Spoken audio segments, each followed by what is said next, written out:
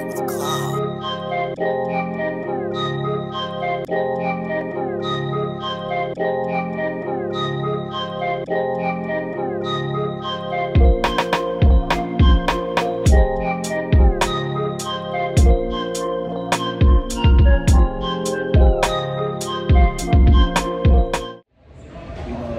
commercial artists be having people on records that don't sound good on the record. You know what I'm saying? So me, I'm more all about in good taste, if that makes sense. That makes a lot of sense. It's, it's crazy that you said, uh, you know, if you can vibe with the artist that you will want to hop on a track. Um, a lot of people, man, um, do they reach out to you and say, Sky, I want you on this track? Or do they just think that, you know, you're a myth? Do you exist? You know, uh, you're up and coming. You've been doing this for so long behind the scenes, and now that you're just coming out with your own album and putting more content out there, can you give us, as the fans and any other artists out there that may want to work with you, that think that you're too busy, which you are a very busy guy because you sat down with me, or just, just, you know, if they feel like I don't know if I'm on this level, what would you say to them um, to reach out to you, man? I said life is all about risk. I mean, don't get me wrong, it is levels to this shit, quote unquote, not to sound cliche. And I don't I don't have the personality to think I'm the biggest dude on campus, figuratively speaking.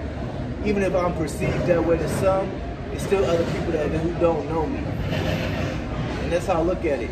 You're um I forgot when I was gonna say one of the rhymes. I, I had one a long ass time ago in the record called Skyview. But um, everybody knows who you don't know. Put it to you like that.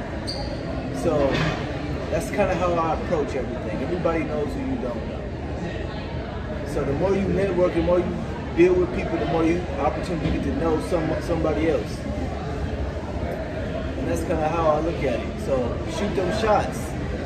Because there's people who I may think is up here, and I'm still shooting my shot, regardless if they get back to me or not. So shoot your shot at me, and um, if I when I go through your work or whatever, send me some some hot stuff or some things that you like that I've done, and see what happens. Um, to answer, I think the first question, people do reach out to me, but just not as far as as a recording artist. Um, people reach out to me as a musician. So some people here, at least on the local level, they want me to play my instrument for them, or you know, see if that can be part of their band or something like that, which is cool. But that's not something I'm really into as of right now, unless I'm like a feature musician on what they got going on. So those are two different meanings. Um, can you explain the two different meanings? Because I would think that they're one and the same, but that's totally not the case here. No, no, because the way I market myself isn't um, band member. That's not the one I'm trying to market myself as. That's not part of the Sky McCloud brand, the Sky McCloud package.